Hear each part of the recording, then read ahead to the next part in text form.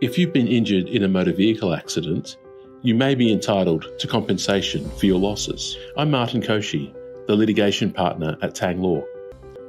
Here are some steps you should take. First, seek medical attention immediately following the accident and ensure that you receive appropriate treatment. You should get copies of medical reports relating to your injuries, treatment received, and advice obtained from the medical professionals about your injuries.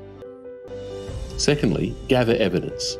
Collect as much evidence as possible from the scene of the accident, including photographs of the vehicles involved. Note out the license plate number, the other driver's details, any skid marks, and the surrounding area. Obtain the contact details of any witnesses to the accident. Thirdly, report the accident to the police as soon as possible. Provide all the necessary information to the authorities and ensure that you obtain a copy of the police report. Fourthly, consult a personal injury lawyer.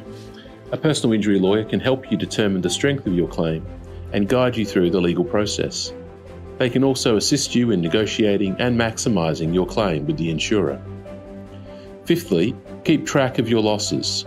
Keep a record of all of your medical expenses, lost income, and other losses as a result of the accident. This will help you to accurately calculate the amount of compensation you are entitled to.